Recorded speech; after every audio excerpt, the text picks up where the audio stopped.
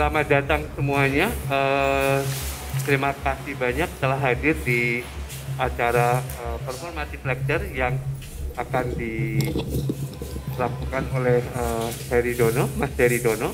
Uh,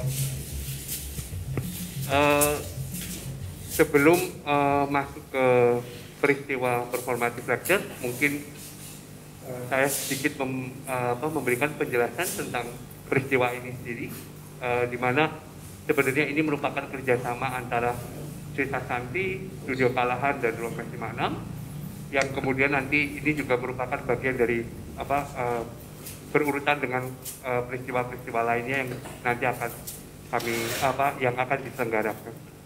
Uh, terus uh, performative lecture ini nanti akan diselenggarakan selama satu setengah jam, di mana semuanya akan dibagi dalam lima uh, babak, di mana masing-masing uh, di akhir masing-masing babak ini nanti temu uh, setiap teman-teman uh, bisa mengajukan pertanyaan dan silahkan uh, memberi kode.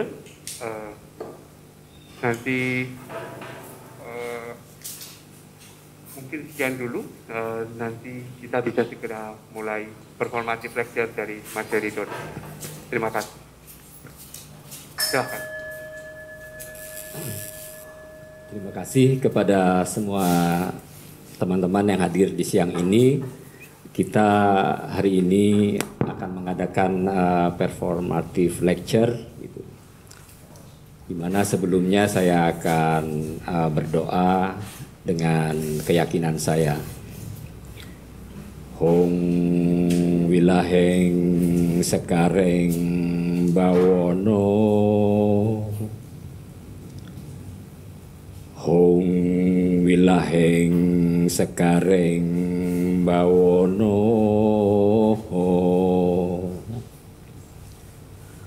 Hong wilaheng sekareng bawono Hong wilaheng sekareng bawono langgeng Doa ini artinya bahwa dunia itu selalu berkembang seperti bunga yang mekar abadi. Jadi artinya bahwa di dalam kreativitas itu ada orang yang percaya bahwa uh, bumi berputar dengan alam semesta yang lain karena sistemnya, tapi ada juga yang percaya bahwa uh, dunia berputar dengan alam semesta itu karena selalu berkembang gitu ya. Jadi seperti musim itu kadang-kadang bisa tidak bisa diprediksi karena ternyata dunia itu selalu berganti-ganti gitu ya. Jadi bagi seniman saya kira kreativitas itu adalah bagaimana kita melihat perubahan itu sebagai sesuatu yang wajar gitu. Jadi ada orang yang ingin mencari zona aman, orang itu hanya berekspresi tapi berekspresi dan memproduksi karya tapi bukan pada kapasitas kreativitas gitu. Itu yang apa doa itu saya kira doa orang-orang Jawa yang sudah lama sekali yang kita kemudian melupakannya. Jadi di sini kita akan bicara tentang persoalan apa namanya eh, hal-hal yang sifatnya lokal maupun global gitu. Jadi uh, di sini lebih banyak improvisasinya begitu. Nah pertama saya akan uh, katakan bahwa uh, dua minggu yang lalu saya membuat satu film animasi dari wayang dengan beberapa teman. Uh, kita buat semacam storyboard yang judulnya The The Loneliness World Happily After Ever After gitu. Jadi orang-orang yang ingin per, membuat perdamaian tapi setelah berperang sampai mati-matian semuanya menjadi roh. Kemudian roh-roh ini baru sadar kalau ternyata mereka salah dan mereka mulai melakukan perdamaian. Jadi dunianya akhirnya menjadi bersih ya karena uh, roh-roh ini menjadi satelit-satelit. Jadi mungkin kita bisa putar itu apa uh, video sebagai awal dari apa namanya uh, lecture apa performative lecture ini.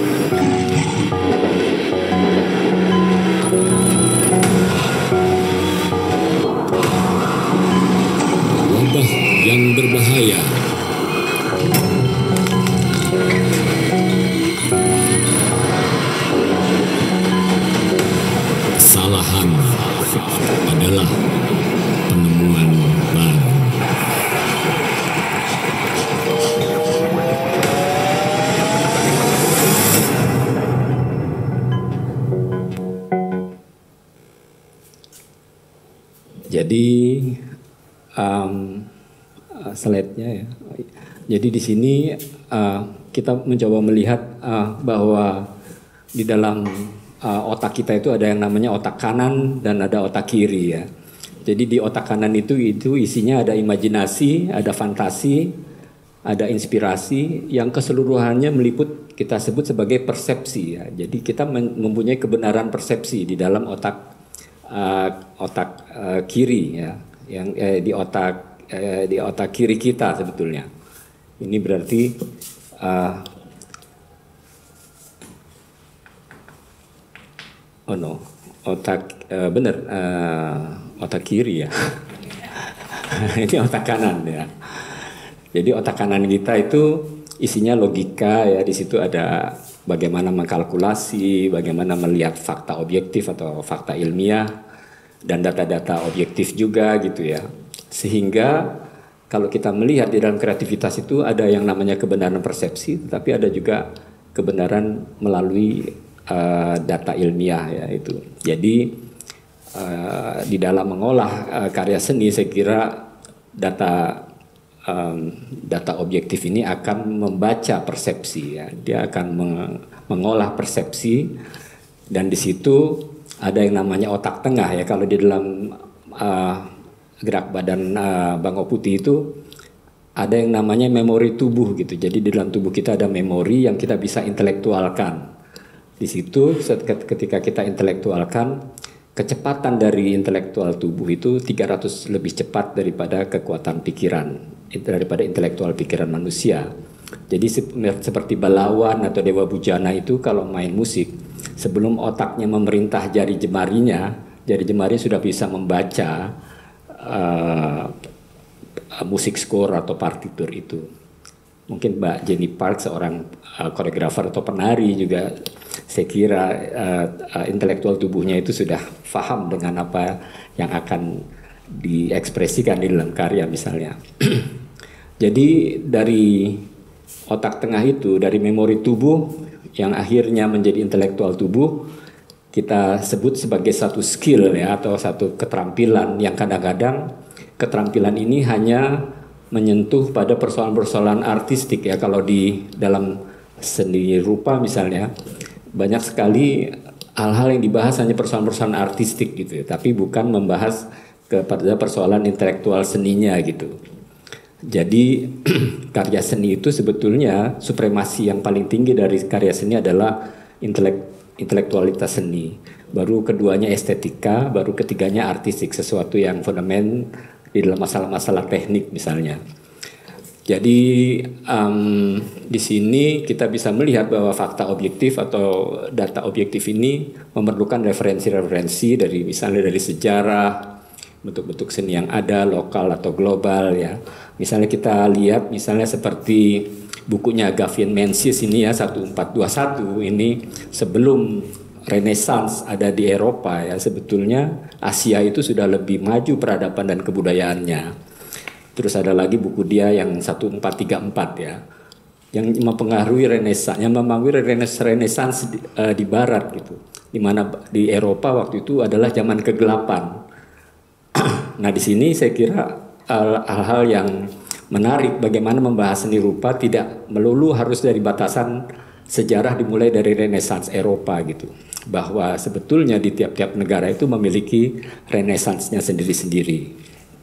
Jadi um, saya kira menarik ya di sini kita um, ada beberapa slide ya itu yang misalnya ini uh, tentang uh, uh, apa namanya uh, bukunya Rogo Warsito tentang zaman Edan kemudian saya terjemahkan uh, di dalam karya grafis ya karya grafis yang kalau di STPI di Singapura itu yang dipertanyakan pertama anda membuat yang konvensional atau non konvensional ya itu. Jadi ketika Anda membuat yang non konvensional, pertanyaannya apa yang tidak mungkin, apa yang impossible ya Anda buat di dalam eksplorasi grafis menurut pikiran Anda gitu ya. Jadi ini karya grafis walaupun tiga dimensi gitu. Nah ini bisa dicetak berkali-kali gitu cetakannya. Jadi beberapa seniman mendapatkan residensi di Singapura karena persoalan itu. Jadi pertama saya ingin bicara soal proses kreatif seniman dan inovasi disrupsi ya. Jadi di sini uh, saya kuliah di ASRI waktu itu tahun 80 sampai 87 drop out gitu ya, terus drop in di di art field gitu ya. Jadi kesadaran untuk drop in ini penting bagi seniman untuk memutuskan kapan harus drop out karena menurut teori eksistensialisme tiap-tiap orang adalah lembaga gitu. 100 orang yang ada di parlemen misalnya di DPR ya uh, suaranya sama setiap orang gitu. Jadi DPR itu hanya punya satu uh, satu uh, orang yang mewakili ke 100 orang tersebut. Jadi menurut teori eksistensialisme setiap orang adalah lembaga itu seperti yang disebut oleh Joseph Beuys ya sebagai seorang seniman kontemporer dari Jerman. Jadi um, di sini kita melihat sejarah-sejarah bentuk-bentuk seni yang ada lokal maupun global. Eh, kemudian di dalam kreativitas itu kita memang memerlukan uh, perenungan-perenungan sebagai kerja ya. Kerja perenungan itu adalah kerja yang tidak memerlukan fisik ya, tetapi mempertanyakan hal-hal yang penting, yang esensial di dalam uh, uh, apa yang akan kita kerjakan. Kemudian tentunya studi dan kemudian kerja ya. Kerja ini seperti kalau seorang tentara berada di medan perang dia tidak uh, boleh membaca buku-buku teori ya karena dia akan tertembak sebelum sebelum uh, misal memasukkan peluru ke ini dia baca buku pegangan untuk masukkan peluru gitu pasti dia tertembak di lapangan di di tempat uh, battlefieldnya gitu. Jadi uh, kerja ini adalah sesuatu yang otomatis ketika orang itu tidak boleh merenung lagi jadi tidak boleh studi lagi jadi uh, harus harus uh, harus melakukan uh, sesuatu yang apa otomatis ya uh, setelah dia kerjakan gitu. Uh, mungkin kita lihat slide yang berikutnya.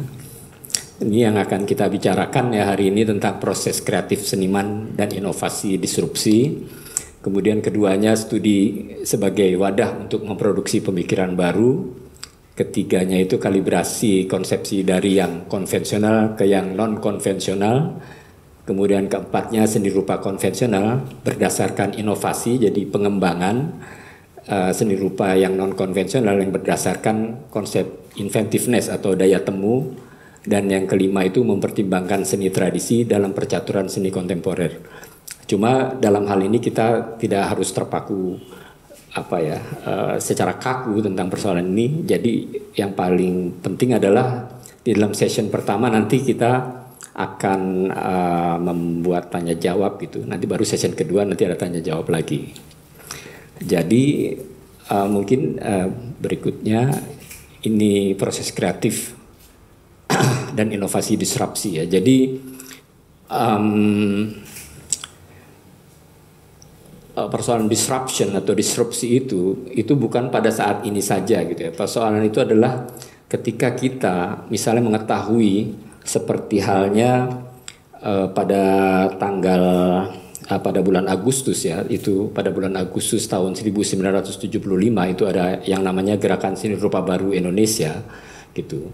Kemudian juga pada tahun uh, kalau nggak salah 38 itu ada apa namanya uh, Persagi ya Persatuan Ahli Gambar Indonesia.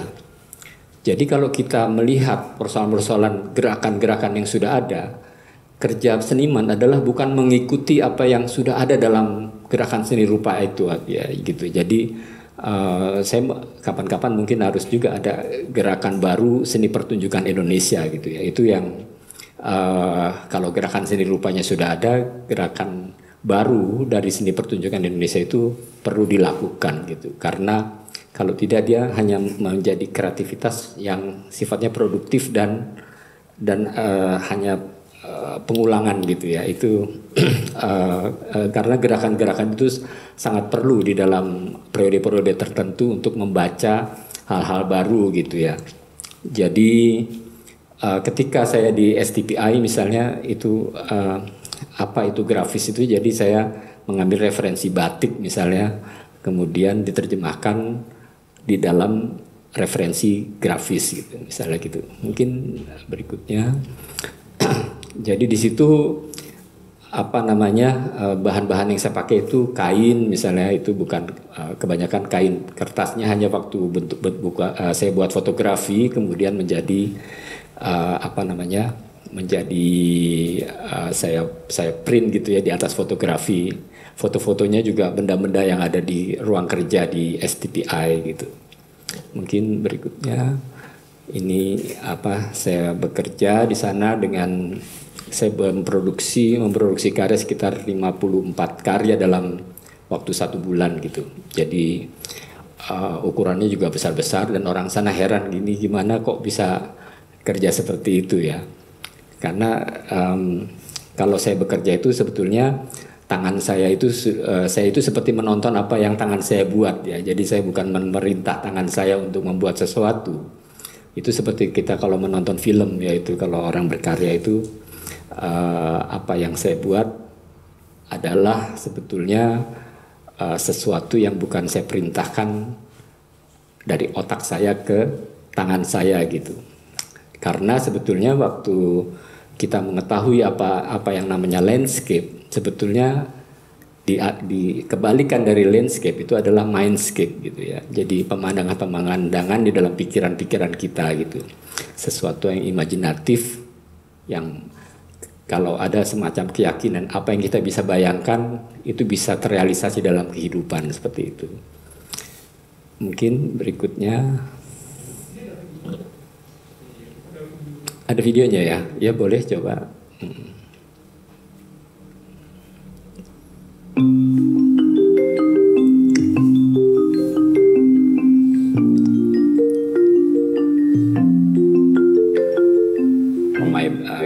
Background and uh, the Indonesian culture tradition actually not as a collage the deep fundamental concept of relation between different discipline you know like puppet and gamelan dance literature or architecture they all have interrelation, you know, the, the constellation between all different disciplines.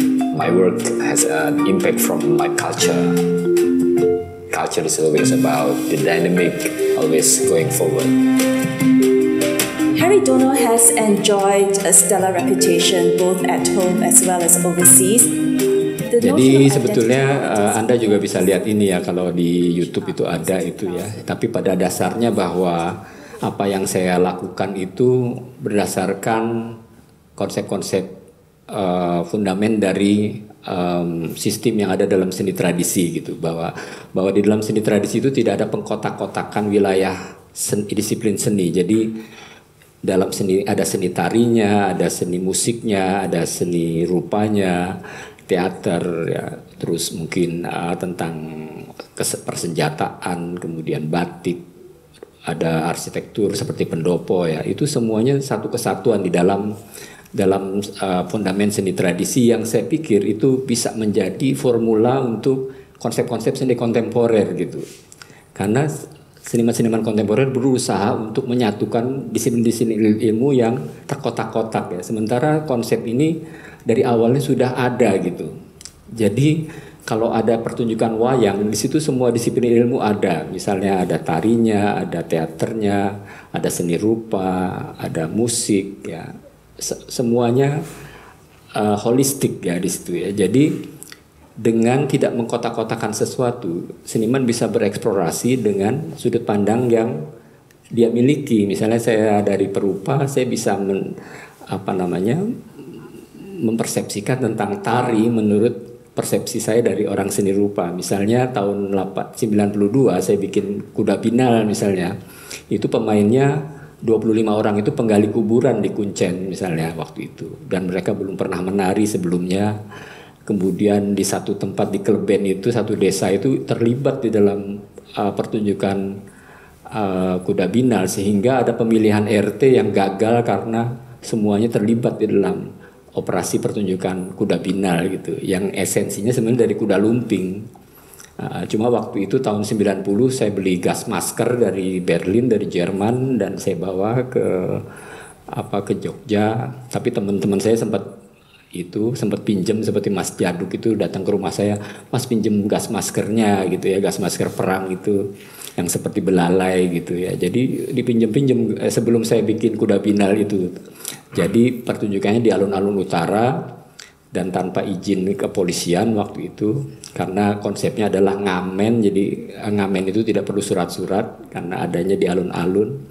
Dan pertama kali saya pertunjukan apa waktu itu naga ya dragon ya yang dari konsep orde baru itu tidak boleh ada kebudayaan Cina yang uh, boleh dimunculkan gitu ya. Jadi waktu itu saya bikin tok tok berkelahi dengan uh, naga waktu itu seperti itu jadi uh, apa namanya?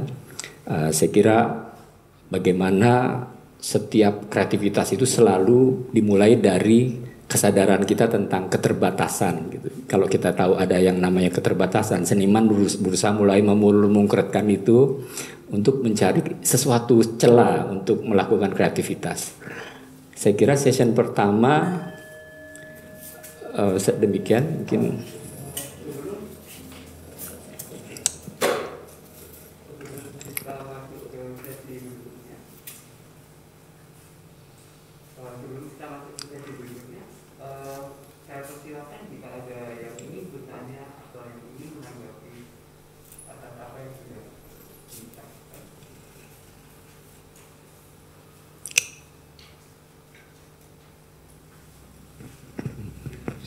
saya persilahkan jika ada. Tapi kalau tidak ada, mungkin bisa kita tunggu untuk pada uh, sesi tanya jawab berikutnya di akhir dari sesi kedua. Mas Dedi Dono, saya persilahkan. Ya. Ya kita masuk ke session kedua sebab kalau kita misalnya sampai ke sesi kelima baru tanya jawab takutnya nanti di session yang awal sudah kita lupa lagi itu persoalannya apa gitu jadi uh, kita mencoba untuk lebih apa ya lebih fleksibel. Yang kedua adalah studio sebagai wadah untuk memproduksi pemikiran baru. Jadi um, banyak dari teman-teman saya yang menganggap bahwa studio itu adalah tempat memproduksi karya gitu. Padahal karya itu adalah efek dari pemikiran-pemikiran manusia. Jadi kalau tidak ada diskusi-diskusi intelektual yang penting di dalam apa namanya uh, untuk menciptakan karya seni karya seni itu akan menjadi kelangenan gitu. Jadi istilahnya hanya seperti orang mengunyah sirih yang nggak pernah ditelan gitu. Jadi kalau zaman saya dulu disebutnya klobotisme gitu.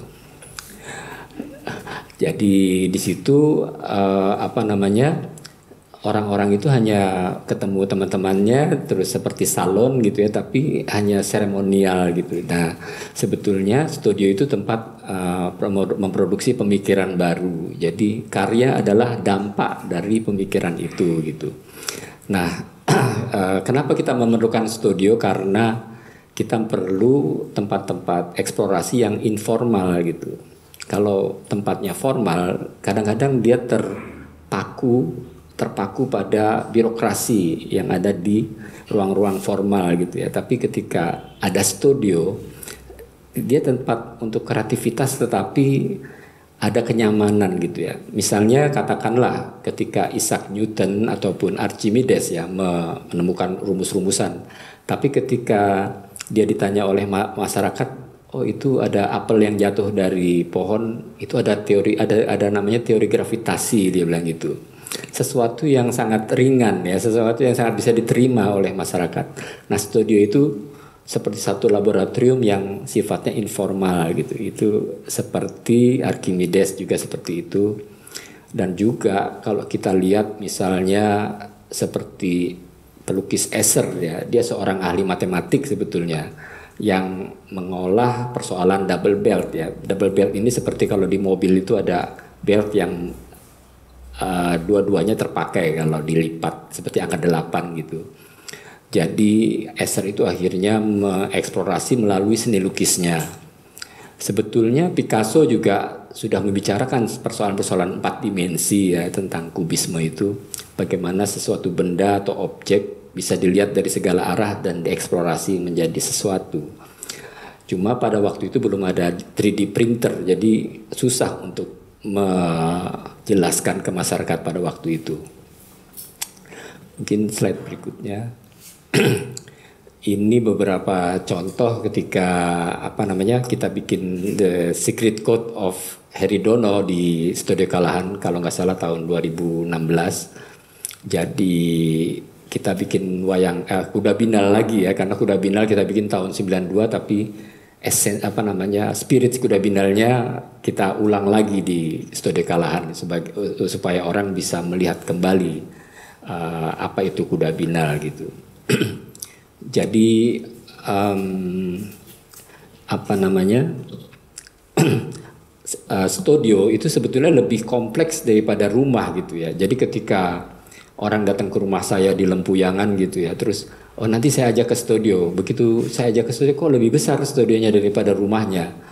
Ya karena konsep rumah ya secara arsitektur sebetulnya sesuatu yang sederhana rumah itu. Ruang tidur, ruang makan, ruang tamu, dapur, kamar mandi, kebun ya. Kalau studio itu sangat kompleks karena Anda harus menyimpan arsip-arsip, Anda harus uh, membuat ruang display, ruang perpustakaan, kemudian apa uh, ruang-ruang uh, yang untuk mungkin nanti untuk merestorasi, untuk pembuatan fotografi, untuk eksplorasi bunyi, untuk eksplorasi gerak, untuk simposium dan lain-lain sehingga sebetulnya studio itu lebih diperlukan daripada rumah. Jadi kalau Anda Anda belum punya kalau Anda belum punya rumah misalnya sekarang ini, buatlah studio dulu, nanti bikin rumah di dalam studio itu. Daripada uh, Anda bikin rumah yang besar tapi sebetulnya besar-besar tapi tidak terpakai ya karena untuk cuma ruang tamu dan lain-lain. Tapi kalau Anda punya studio Anda bisa eksplorasi untuk membuat sesuatu di studio itu gitu. Kalau misalnya Anda apa melihat satu investasi tanah itu beli yang besar jauh nggak apa-apa tapi nanti di situ Anda bikin studio dulu baru rumahnya gitu. Jadi rumah itu sebetulnya sesuatu yang bagi saya sesuatu yang uh, simple gitu cukup kecil aja tapi uh, apa namanya uh, tidak sekompleks uh, studio gitu ya. Jadi studio di sini juga kita bikin pameran, bikin simposium dan lain-lain karena di sini kita ada konsep pembelajaran. Jadi kita tetap uh, mencoba mencari kontribusi intelektual di dalam setiap event-event yang dibuat di oleh Studio Kalahan misalnya seperti itu. Ini apa? Uh, bagian dalam dari studio Kalahan kadang-kadang kita eksplorasi wayang. Jadi sebetulnya apa yang saya buat dibagi dalam empat uh, kategori ya. Uh, misalnya seni lukis kemudian uh, seni instalasi seni pertunjukan dan wayang gitu. Itu eksplorasi saya di empat hal itu. Kalau misalnya mau di apa dipadatkan seperti itu. Hmm, ya Nah ini nanti ada apa video sedikit tentang uh,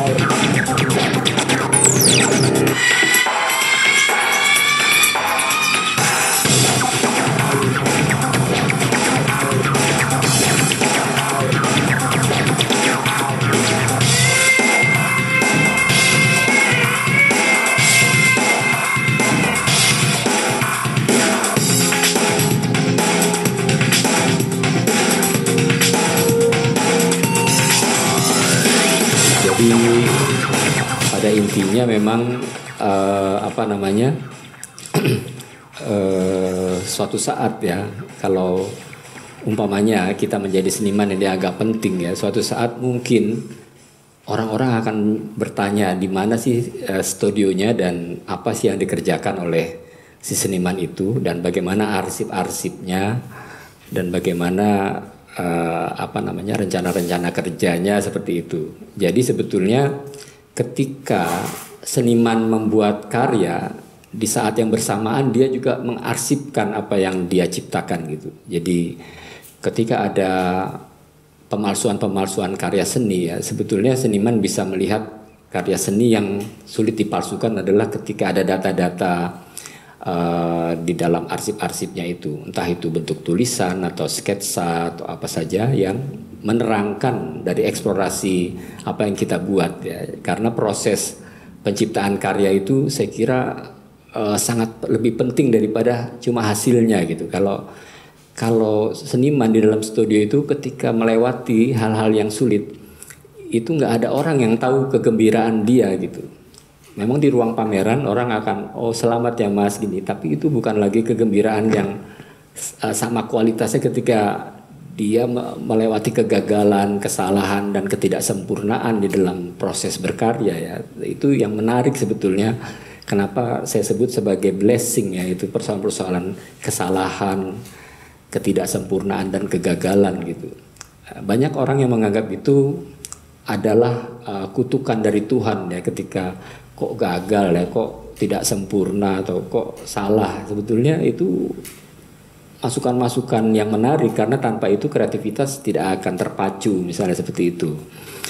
Jadi uh, apa namanya di dalam karya seni itu ada yang namanya uh, karya-karya seni yang uh, nantinya bisa dikoleksi oleh uh, private collector gitu ya itu. Tapi ada juga yang uh, museum collectible ya. Jadi ada orang menganggap bahwa bikin-bikin karya itu ada yang beli apa enggak gitu ya kalau yang instalasi seperti itu. Tapi banyak di beberapa museum yang mengkoleksi uh, seni-seni instalasi. Ya institusi-institusi besar dalam kebudayaan itu memerlukan seperti itu. Kalau kita cuma berorientasi pada hanya oh nantinya dibeli oleh private collector itu karya itu tidak akan terbaca secara sosial oleh masyarakat seperti itu uh -uh.